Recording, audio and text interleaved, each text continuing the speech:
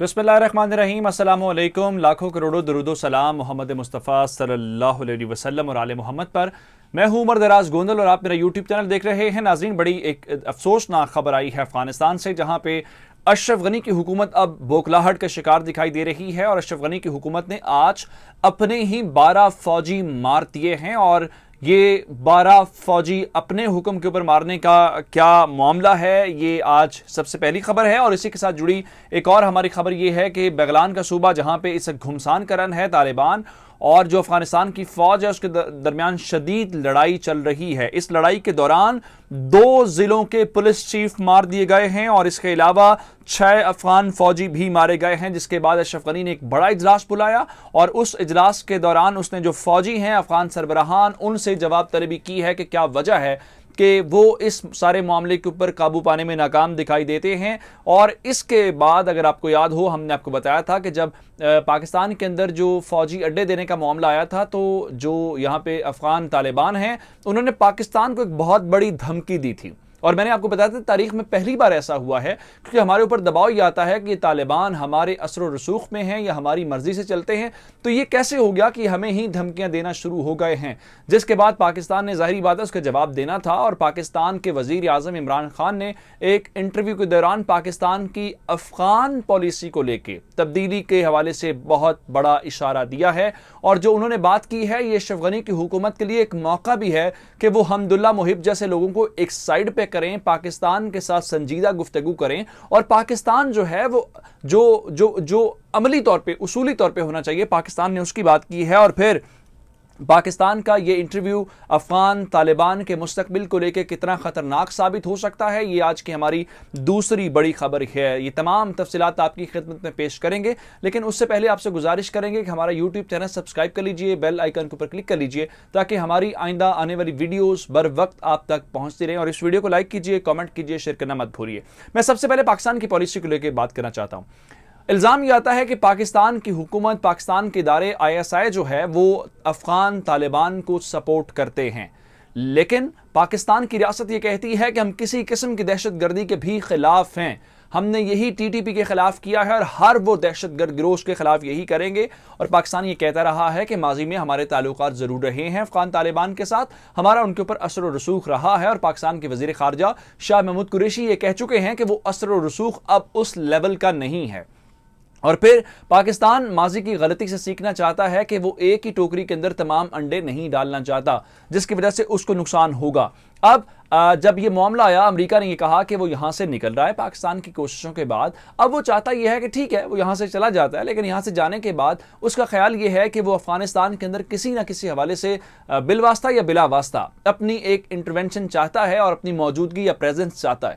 اس نے پاکستان سے بڑی سادہ سی بات کی کہ آپ ہمیں یوں کریں کہ جو افغانستان کا ملحقہ بارڈر ہے، وہاں پہ ہمیں کچھ فوجی اڈے دے دے تاکہ ہم ان افغان طالبان کو لے کے ان کے اوپر اپنا کنٹرول جو ہے وہ حاصل کر سکیں۔ لیکن اس کو لے کے حیران کن طور پہ اور بڑی جو پہلی بار غیر معمولی چیز تھی کہ افغان طالبان نے ان لوگوں کے اوپر جن کی مدد سے آپ نے یہ ساری کامیابیاں حاصل کی تھی ماضی میں، ان کو دھمکی دی اور افغانستان کے ترجمان کے سہیل یاسین صاحب نے یہ، جو ہیں، انہوں نے یہ کہا، سہیل شاہین صاحب نے کہ جناب آپ اگر اڈے دیں گے تو افغان طالبان خاموش نہیں رہیں گے۔ یہ براہ راست دھمکی دی پاکستان کو، جس کے بعد اب وزیر اعظم عمران خان نے برطانوی جو ایک نیوز ادارہ ہے، رائٹرز، اس کے ساتھ گفتگو کی ہے۔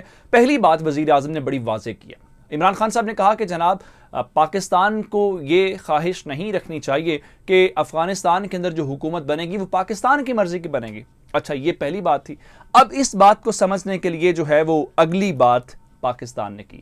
ایک اسٹریٹجک ڈیپتھ کا ایک پاکستان کے اندر نظریہ پایا جاتا تھا۔ یعنی افغانستان کے اندر ہم انٹرونشن کریں، وہاں پہ جو حکومت ہے وہ ہماری مرضی کی ہو، جو ہمیں سپورٹ کرے، اور اس سلسلے میں ہمیں ہر طالبان کو سپورٹ کرنا پڑتا ہے، کسی کو سپورٹ کرنا پڑتا ہے، ہم کریں۔ لیکن ماضی میں یہ ہمارا یہ تجربہ کچھ کامیاب نہیں رہا، ہمیں کچھ مسائل کا سامنا کرنا پڑا انٹرنیشنل دباؤ آیا، اور طالبان کے اس معاملے کی وجہ سے پاکستان ایک لمبی طویل جنگ لڑی۔ پاکستان کے وزیر اعظم یہ کہہ رہے ہیں کہ اسٹریٹجک ڈیپتھ کا ہم نے نظریہ ختم کر دیا ہے، اور اب اگلی بات کی ہے۔ جو طالبان کی دھمکی کا جواب ہے اور جو اشرف غنی کے لیے امید کی بات ہے۔ انہوں نے کہا کہ جناب، پاکستان جو ہے، وہ افغانستان کی منتخب حکومت کے ساتھ معاملات طے کرنا چاہتا ہے۔ اور وزیر اعظم نے کہا کہ پاکستان کو چاہیے کہ وہ الیکٹڈ گورنمنٹ کے ساتھ اپنے معاملات دیکھے۔ اس کا مطلب یہ ہے کہ پاکستان یہ کہہ رہا ہے کہ اگر طالبان ہمیں دھمکی دیں گے تو ہم آپ کی گورنمنٹ کو تسلیم نہیں کریں گے اور ہم الیکٹڈ گورنمنٹ کو سپورٹ کریں گے۔ اور الیکٹڈ گورنمنٹ کا مطلب یہ ہوتا ہے کہ طالبان کی ڈکشنری میں الیکٹڈ گورنمنٹ کا کوئی تصور موجود نہیں ہے۔ الیکٹڈ گورنمنٹ کا مطلب یہ اشرف غنی کی حکومت ہو سکتی ہے یا پھر کوئی بھی وہ حکومت جو افغانستان کے آئین کے تحت بنے۔ اب ایک اور بات کی ہے۔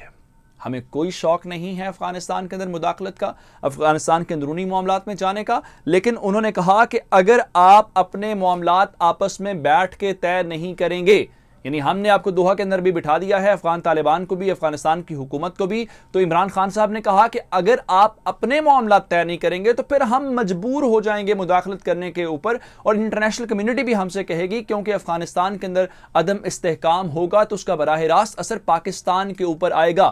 لیکن ہم یہ نہیں چاہتے، اس لیے آپ ہمیں مجبور نہ کریں۔ یہ ایک معاملہ۔ دوسرا معاملہ۔ آج جو افغانستان کا بدخشاں صوبہ ہے۔ وہاں پہ افسوسناک جو اپرائزنگ فورسز کمیٹی ہے، ان کے بارہ لوگوں کو افغانستان کی اپنی فوج نے مار دیا ہے۔ یہ بات میں اس لیے کہہ رہا ہوں کہ شف غنی کے حکم میں مارا گیا ہے کہ یہ جو ایئر سٹرائک کی گئی ہے، یہ افغانستان کی فوج نے کی ہے اور سارا آپریشن جو ہے شف غنی کی مرضی کے مطابق ہو رہا ہے۔ اور اس کو اب جو افغان میڈیا رپورٹ کر رہا ہے، وہ فرینڈلی فائر کہہ رہا ہے۔ یعنی اس فرینڈلی فائر کے نتیجے میں جو بارہ لوگ ہیں مارے گئے ہیں کوستان ضلع کے اندر اور اب تک کی اطلاعات کے مطابق آٹھ لوگ لاپتہ ہیں۔ یہ پہلی بڑی خبر ہے کہ انہوں نے یہ ایک بہت بڑا بلنڈر کیا ہے۔ اور دوسری بڑی خبر ایک بغلان صوبے سے ہے۔ بغلان وہ صوبہ ہے جہاں پہ اس وقت طالبان ہر صورت کنٹرول حاصل کرنا چاہتے ہیں اور جنگ وہاں پہ شدت اختیار کیے ہوئے ہے۔